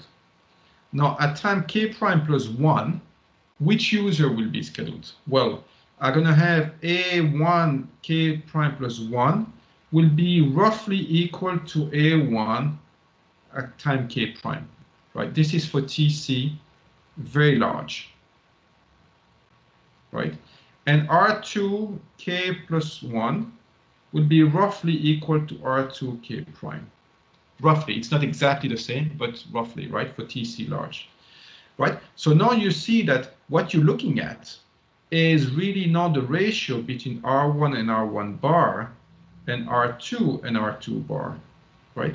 Now, now, the, the instantaneous rate of user one and user two will play a big role here, right? And you see that for at this time instant here, user one has actually a much better channel compared to its average, compared its average rate, let's say, than user two. User one is actually on, on a good channel realization, while user two is in something that is in is starting to be in a dip, right? So that means actually at time k plus k prime plus one, user one will still be likely scheduled. So we're going to have user one again. Right? Now you go to use to k prime 2, right? Well, then you compare the ratio again here, and user 1 will likely be scheduled again because his channel is very good, right? And you continue like this, right? And at some point, things will things will change, because the channels of user 2 will become better than the channel of user 1, relatively speaking, compared to compared to its its average. Right? So this is the reason why, depending on TC, if you like, in short, when TC is very small, the scheduler is not really a function of the instantaneous rate. So it's not really a function of the how good the instantaneous channel is. While when TC is larger, the scheduler pays more attention to, to this numerator. The numerator plays a big role. So it tries to schedule, try to schedule the user when the user is really on good channel realization. And that's the reason why here, when you increase number of users, you have an increase of the sum rate because increase of the sum rate of the number of users means actually you're able to really schedule users went actually on good channel realization. So user one here, user two there, and so on. If TC is very small, you will not be able to actually uh, have a schedule that is really a function of the incident, channel realization. And so you will have performance that actually are quite, quite weak. So round robin, TC is quite equal to one or, or small, is a bit like a random selection. You just want to make sure that all the users are scheduled. So it's very fair is very fair, but the performance is not very good either because you don't care of how good the channels are, right? You say, I have uh, um, uh, I have 10 users and I will have user one at time one, user two at time two, user three at time three, user four at time four, and so on. And then I will go back to user one and so on. I don't really care about how good the channels are. But if TC increasing, I will say, oh, well, I have user one is actually on a good channel realization, so I will keep user one, then user one, user one. And then, well, user two becomes better in terms of the ratio, then I will keep user two, user two, user two, and then switch to user three, maybe, right? But I will pay more attention to actually the, the numerator, right? Does that does that clarify? Yeah, thank you. That makes a lot of sense. Thank you. Yeah. So you'll see, um, you really have to practice that. You have to actually code this into MATLAB to really see how, how that behaves. Right, good. So let's continue. So that was about essentially this notion of scheduling, which is an important notion when you want to really consider fairness. Um, so you want to have fairness among the user at the same time you want to maximize the performance, right? So so it's something that is is is is, is quite important. Now I gave you this example when you have single antenna. So this is a SISO. The performance here is for SISO. SISO BC, right? You have one transmitter, you have multiple receivers, uh, right? You can do the same in the SISO MAC. So you have multiple transmit multiple transmitters, uh, and if you want to trans transmit only, you want, want to have only one user at a time to be scheduled, you can do that, for instance, right? That will not maximize your sum rate, um, right? Because you know that in the sum rate of the SISO MAC, you actually want to have two users that transmit at the same time, but you could do that, right? In the SISO BC is different because to maximize the sum rate, you actually have to transmit one user at a time. But if you transmit only to the strong user, always it may not be fair. So that's why uh, scheduling is quite important also. Now you could do this if you have a MIMO. So you could transmit, let's imagine I have now K users. I have a, a system, I have one transmitter, multiple transmit antennas, and now I have different users, multiple receive antennas, right? But I'm constraining myself to transmit to one user at a time. So this is not the best thing you can do, but you could do that. And this is something you do in 4G and in 5G, for instance. So you have three users, but I'm saying I will transmit uh, to those different users, but only one user at a time. So for instance, I will transmit, I have two receive antenna to transmit antenna, I may transmit one or two streams to user one. And then next time instance, I will transmit one or two streams to user two, then to user three, right?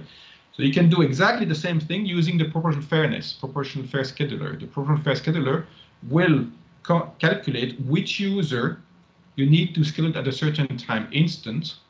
Uh, but now your rate will be function of the point-to-point -point MIMO processing that you do. So your instance rate will be function of what kind of receiver you have. Are you having an MMSE receiver, an MMSE SIC receiver? So the rate expression will change and it will depend on how many streams you transmit, right? So you can do that. So this is something you will do in coursework three. So we will have uh, single user transmissions. You transmit one user at a time, but uh, you have proportional fair scheduler and you have multiple transmit antennas and multiple receive antennas. Right? So this can be done. It can be done also when you have you, you still multiple user at the same time. So we'll see this also, but um, this is more challenging and that relates a little bit to, to the bonus question in, in, in coursework three.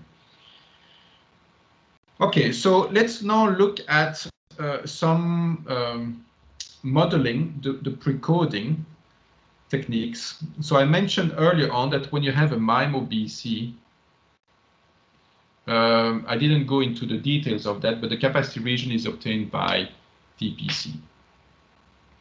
Now, a way to achieve uh, good performance, relatively good performance, but without going into complicated DPC is to use some form of, of pre-coding techniques. And so this is very common in the literature on multi-user MIMO. Um, right, so this was very popular information theory with perfect CSIT, the DPC was shown to be capacity achieving in 2005, 2006, right? Um, then around that time, a lot of different multi-user MIMO techniques were developed, right, uh, between the 2000, early 2000 to 2010. A lot of multi-user MIMO techniques were, were developed. Um, so when you have multiple transmit antennas and multiple users, but you don't want necessarily to use the DPC techniques, you want to use uh, linear precoding. And so we're going to look at some of them here, uh, the simplest one. Right, so let's look at this scenario. I have uh, NT-transmit antennas. I may have potentially multiple receive antennas at the receiver. I have a receive observation vector for user Q that is, uh, that is a vector here because I have multiple receive antennas. And I have a transmit signal vector here uh, that I have to calculate, I have to compute. So DPC could be one of them, but I may have other methods. And I have the channel matrix for user Q. Same as before, I could potentially view this C prime as a superposition of K messages, uh, K uh, because I have K users, right? And there's still a prime there because there could be some form of processing there. Right? So let me write write this down, C prime, uh, into more details using precoding. So now I will assume that I have uh, precoding technique. So I will have a kind of linear relationship between my transmitted streams or the streams that I have and the one that I really want to transmit. So this is my stream I want to transmit. For instance, let's say those are could be QPSK streams, 16 QAM streams, and they include the streams intended to um, to those different different users. And I have here a precoder, right? The precoder is the same idea that we have in point-to-point. -point. Um, it will be a precoder that will essentially tells you um, in what directions you want a certain stream to be transmitted and uh, with what power level. Okay, so um, so what is the the length of C here? Uh, C will have a length that is um, that is equal to the number of streams that I want to transmit. So I have here, for instance, let me give you directly some example that you you understand. Right.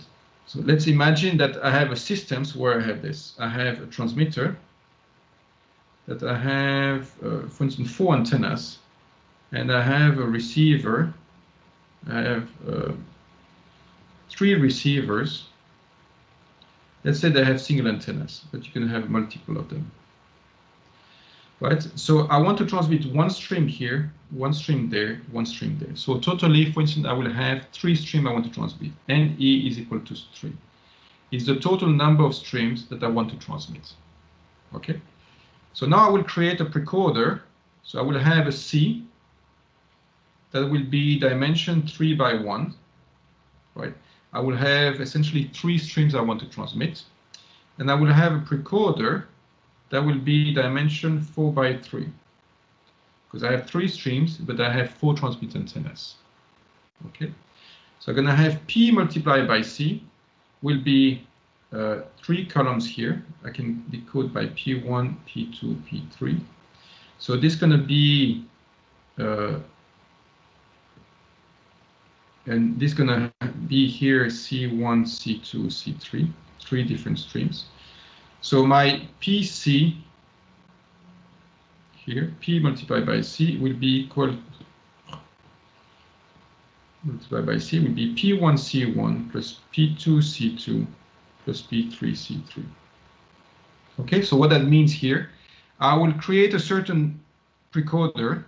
So let's say I will create a certain beam along P1 with a certain provocation, P2 and P3. And uh, along C1, uh, along P1 I will transmit C1, along P2 I will transmit C2, along P3 I will transmit C3. Okay, during using those uh, three different precoders, one precoders for each of those uh, symbol that I transmit. Okay, or each of those streams. So this is what I have here. I have K is my scheduled user set. So it's the set of users I want to transmit information to, right? for instance, I could have a fourth user, right?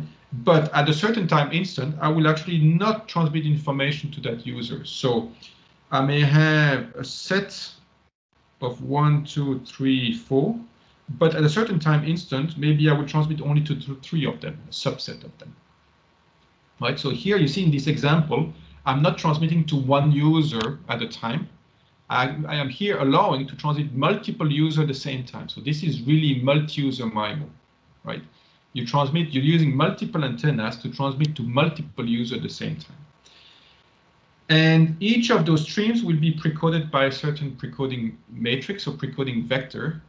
Um, if you have multiple streams here, multiple antennas here, and you transmit maybe multiple streams to a given users, then um, you could have a precoding uh, matrix uh, vector here for user one that is not just a vector, it could be a matrix because you may want to transmit multiple streams to that user, right? Um, so this is what is reflected here.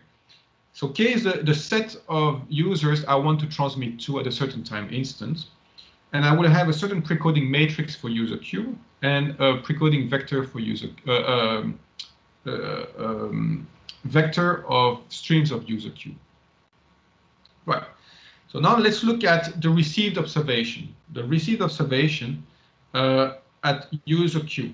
So I will have uh, user Q uh, y, so let's forget the w for the time being, the, the g for the time being. y of q, so the received observation at user q, will be equal to its intended uh, signal that is traveling through user q channel, where this is the precoder of user q. And I split into two parts here to highlight two things. This is a direction, this is the power allocation. So this is, let's say, vectors like this. This is power allocation. It tells you, it's a diagonal matrix, it tells you how much power is allocated to that vector, how much power is allocated to that vector, right?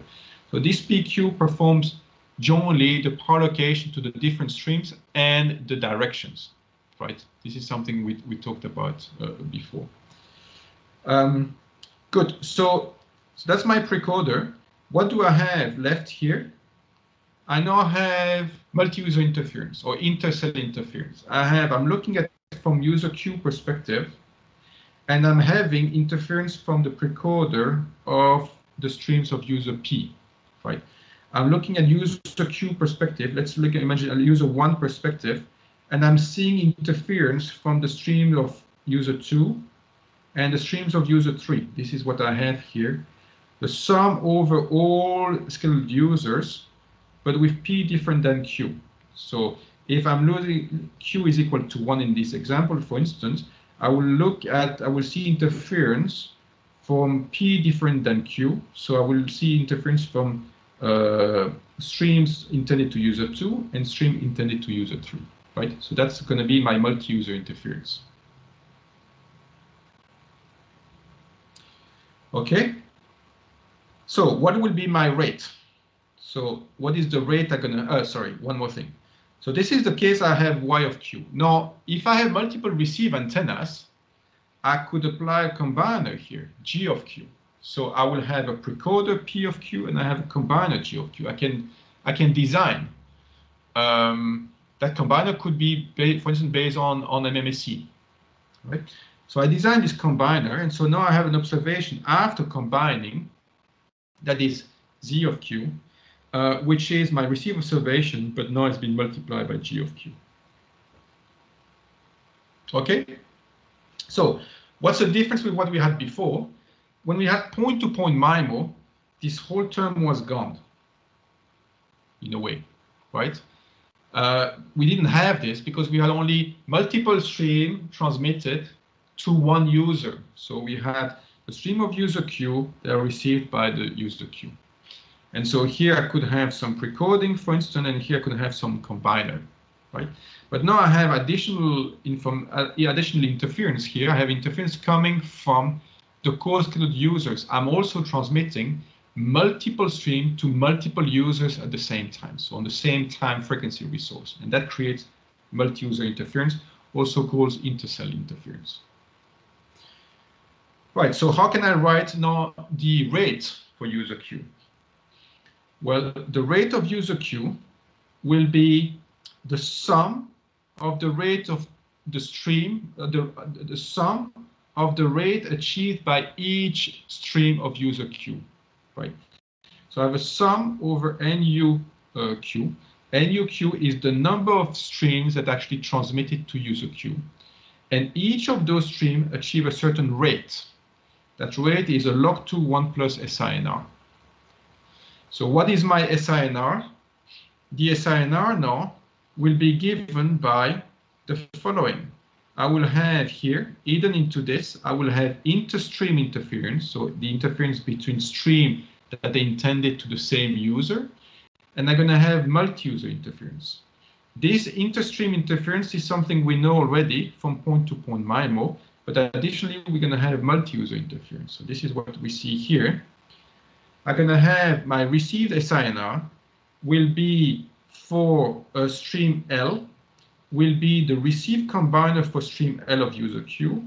I'm going to have the precoder of user Q and the stream L. That's going to lead to the signal power of the intended stream. And then I'm going to have three terms. One term that is the uh, noise, that's fine. And I'm going to have the interstream interference and the intercell interference. What is the interstream interference? Is you're looking at user Q perspective, right? Um, but you're looking at streams intended to user Q that create interference to the stream L of user Q, right? If I transmit two streams to user Q, well, if I want to decode stream one, stream two will create interference to stream one. This is what it says here. If I'm looking at stream one of user Q, stream two of user Q will create interference to stream one. That's what it says. Right, so this is the interstream interference to user Q. This is the intercell interference to user Q. I'm looking at from user Q perspective, and I'm seeing, I'm looking at the interference coming from the data intended to user P, and user P being different than user Q. Okay, so if I take this example here, let's imagine I have two receive antennas. I have here now two streams for user one and one stream for user one and user two. And I'm looking at from user one perspective, right?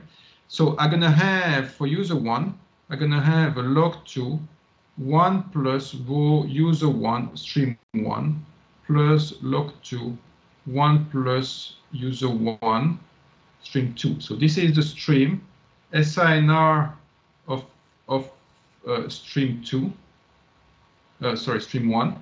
This is the SINR of stream two of user one. Okay.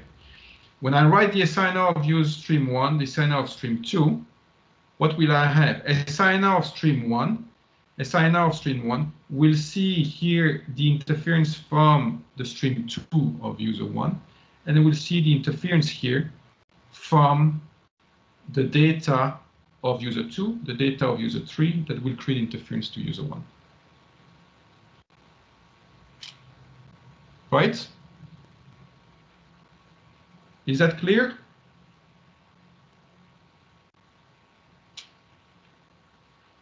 So let me take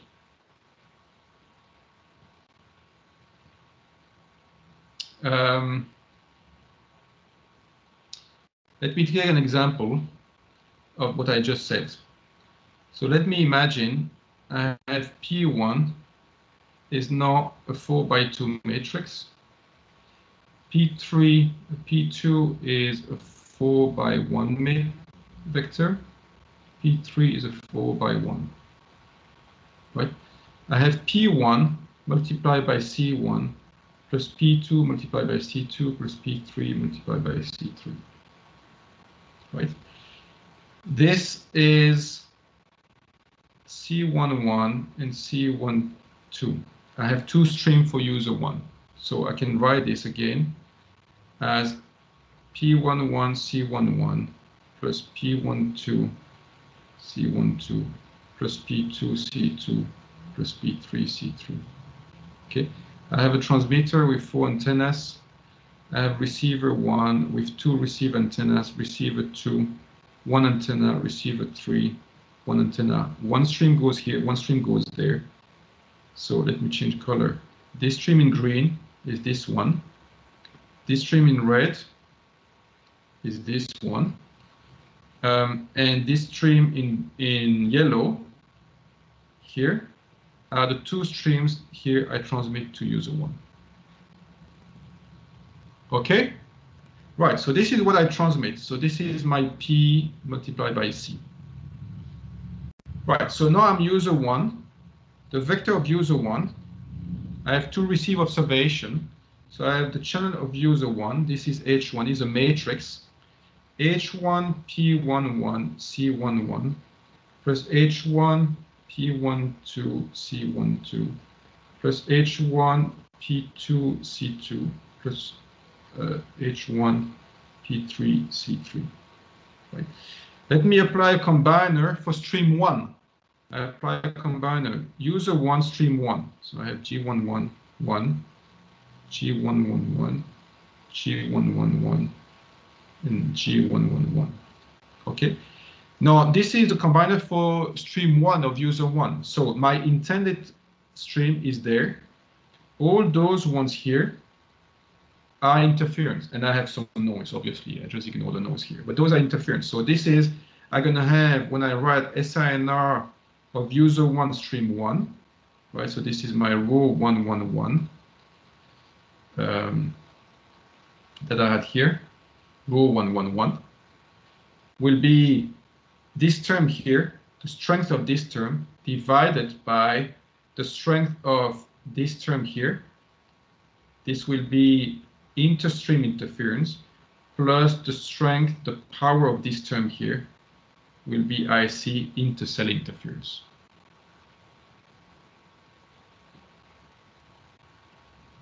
Is that clear?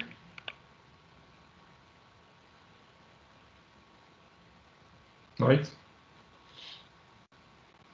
Hope it's clear. Difficult to see your reaction. Um, right, so let me explain you. Now, what do we want to do? How do we design those P now? Right. Um, so there are multiple methods for that.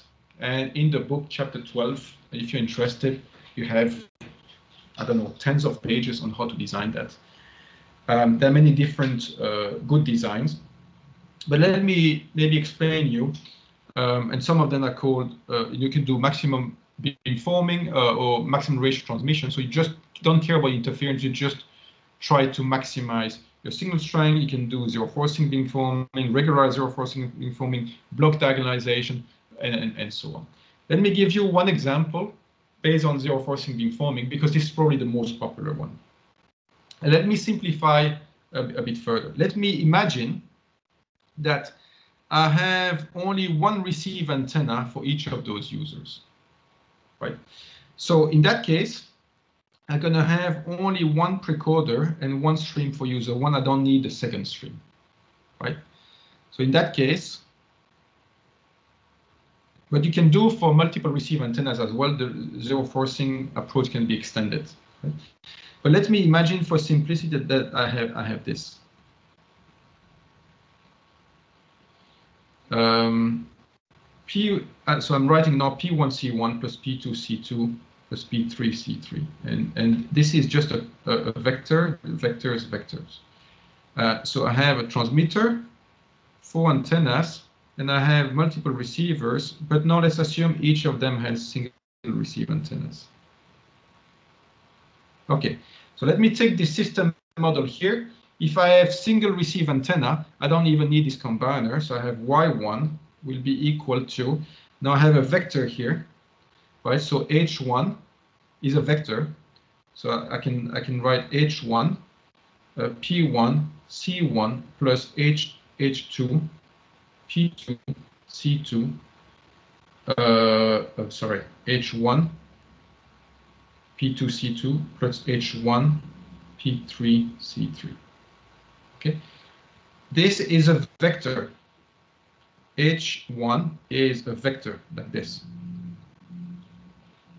right is let's say is a 4 by 1 by 4 vector right I have only one receive antenna so this is 1 by 4 P1 is a 4 by 1. Right, same as what we had here. Uh, I have only one stream I transmit, so now it's 4 by 1, 4 by 1, 4 by 1. So they're all 4 by 1 here. Right, so what is the zero forcing beam forming? Same idea as the zero forcing receiver. What do you see here? When I'm looking at the stream, the observation of user one, I have the intended signal power. So I'm going to have a SI R here. That will be something like H1 P1 square divided by H1 P2 square plus H1 P3 square plus some noise. This is what you have in this equation here, right? Um, where here I distinguish the W and the S, so that's the power allocation, that's the direction, but it's actually exactly the same as this. So here I include the power allocation and direction into one precoder, right? And H include the path loss as well. So it's the same expression, but written slightly differently. Right, so if I have this, one way to, to design the P is the following, based on zero forcing. So remember zero forcing receiver, we designed the receiver so that we want to force any interference to zero. Here's the same thing, but we do this at the transmitter side, the precoding. We want to design the precoder so that we force any interference to zero. So where's my interference here? Is this. This is an interference. I want to force this to zero. This is an interference. I want to force this to zero. Right? So I have here uh, H1 is a 1 by 4 vector. And P2 is a 4 by 1 vector. So I want to have H1 P2 to be equal to 0. I want to have H1 P3 equal to 0. In other words, I want P2 to be orthogonal to H1, and I want P3 to be orthogonal to H1. Right? That's what the zero forcing would do.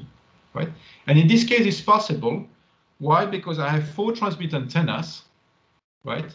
And I have two interfering source. So if I have four transmit antennas,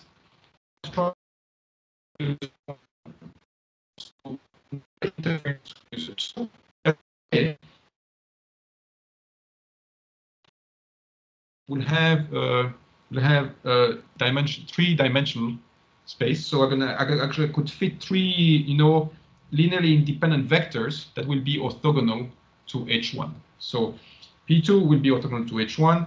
Uh, P3 we can be orthogonal to H1 as well, and, and, and so on. So that's the idea of zero forcing is to force zero forcing beamforming to force any interference to zero. So how do we do that? We do this by doing simply an inverse. We do an inverse. So we actually take our channel matrix um, let me write this slightly. Uh, uh let me write this uh, uh, first. Show you um, qualitatively what we do. So we have, let's say, two vectors like this, right? This is h1 and h2, and now what I want to do here, you see that I want p2 to be orthogonal to h1, right?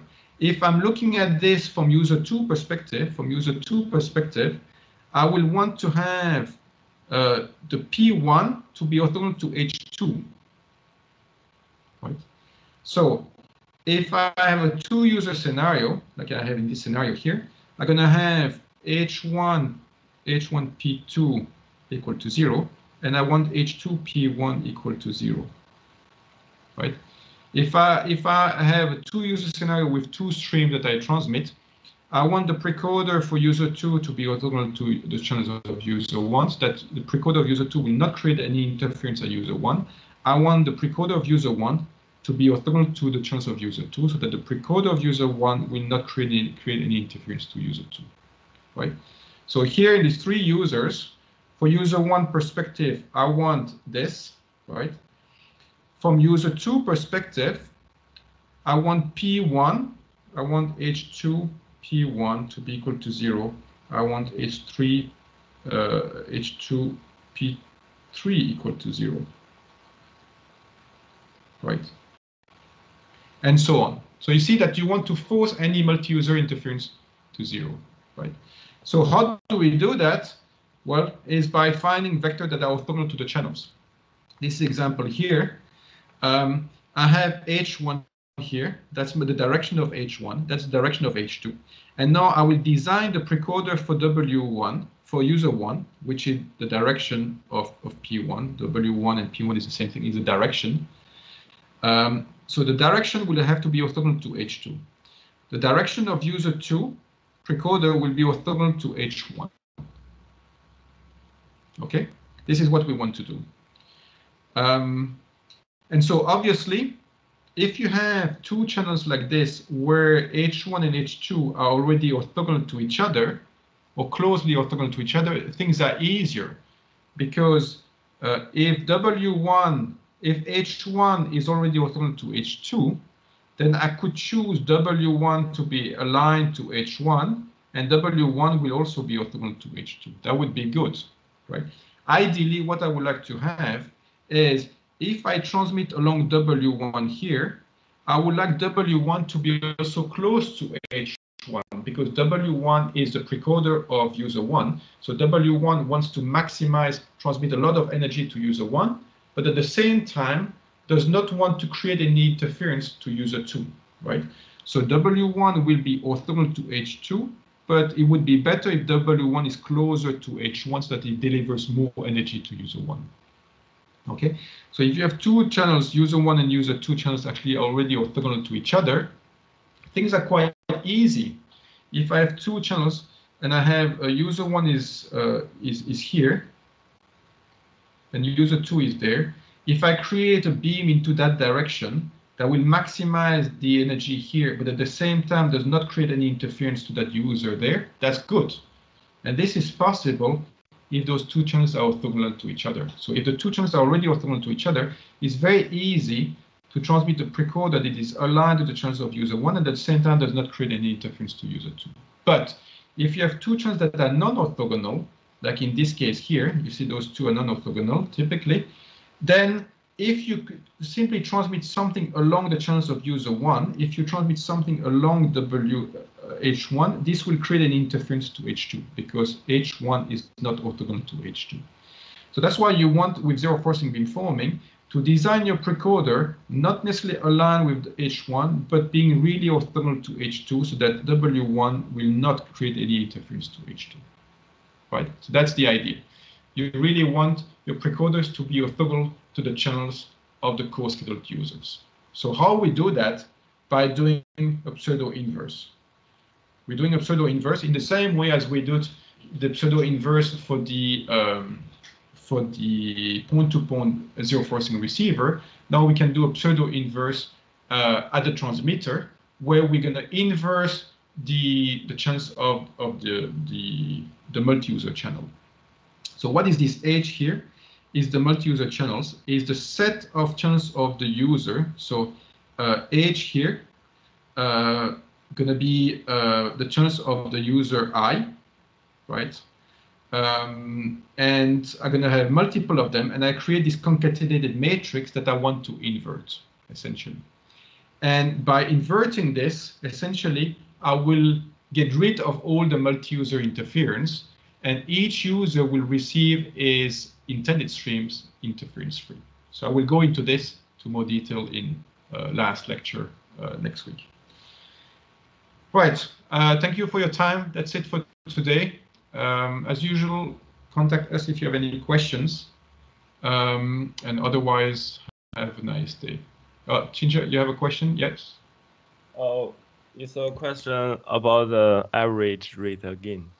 Uh, okay. Let's uh, let's go to let's go to the, the figure you draw before you, you explain the fairness about the about the rate. This one? Not not this one. It's the pure previous one. Uh, um, I remember you draw like yeah this one. Yeah.